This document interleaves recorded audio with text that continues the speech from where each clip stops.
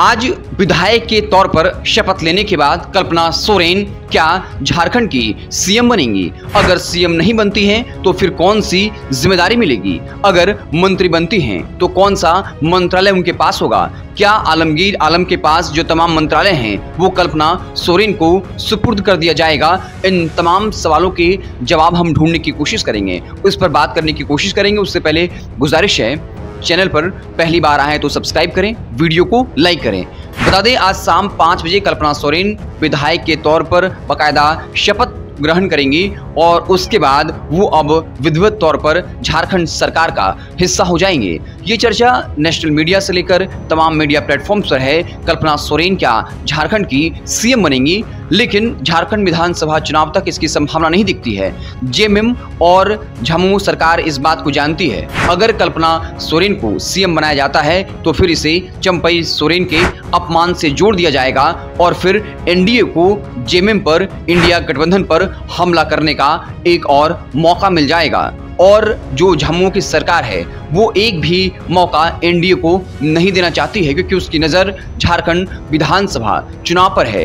NDA के पास ज़्यादा resources हैं, उसके पास ज़्यादा प्रचार तंत्र है, इसलिए कहीं ना कहीं जेएमएम की सरकार इस तरह की गलती नहीं करने जा रही है। तो फिर आखिर कौन सा पद मिलेगा कल्पना सोरेन को? खबर यही है कि कल्पना सोरेन विधायक की शपथ लेने के बाद उनको मंत्री बनाया जा सकता है। आपको बता दें कि एक मंत्री का पद खाली है। इसके अलावा चर्चा ये भी है कि आलमगार आलिम के यहाँ से करोड़ों के कैश बरामद हुए और चंपई सोरेन ने बाकायदा जो है, उनसे वो, जो मंत्रालय हैं, वो छीन लिए। जबकि आलमगीर आलम ने इस्तीफा नहीं दिया तो हमने खबर भी चलाया था कि देखिए कैसे चंपई सोरेन की सरकार का चाबुक जो है, वो आलमगीर आलम पर चला है। तो अब खबर चल पड़ी है कि चंपई सोरेन ने जिस तरीके से मंत्रालय छीने हैं तो क्या ये मंत्रालय कल्पना सोरेन को दे दिए जाएँगे?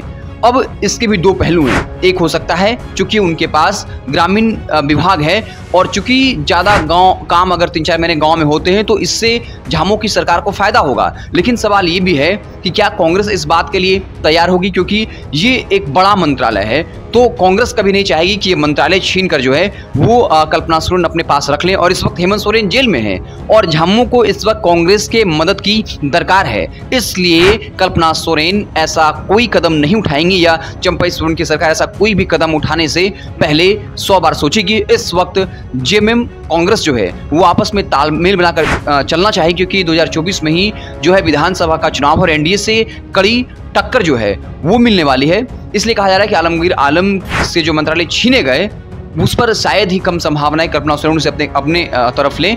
वो जो मंत्रालय हैं, वो महागमा से कांग्रेस के विधायक दीपिका पांडे को मिल सकता है। दीपिका पांडे के बारे में पता होगा कि वो गुड्डा से जो है बाकायदा कांग्रेस ने उन्हें टिकट भी दिया था, लेकिन बाद में प्रदीप यादव की बगावत के बाद वो टिकट जो है दीपिका पांडे के बजाय जो है प्रदीप यादव को दे दिया गया। तो दीपिका पांडे के बारे में खबर है कि आलमगीर आलम के पास जो मंत्रालय था, वो दीपिका पांडे को दिया जा सकता है। और जो एक और मंत्री पद का खाली, पद खाली है, उस पर कल्पना सोरेन जो है उस पर काबिज हो सकती हैं, वो मंत्रालय उन्हें मिल सकता है। तो इतना तो तय है कि कल्पना सोरेन जो है, वो अब मंत्री बनने जा रही हैं। सीएम बनने की संभावना बहुत ज़्यादा कम है। हालाँकि राजनीति में कुछ भी संभव असंभव नहीं होता, सब कुछ परिस्थितियों पर निर्भर करता है।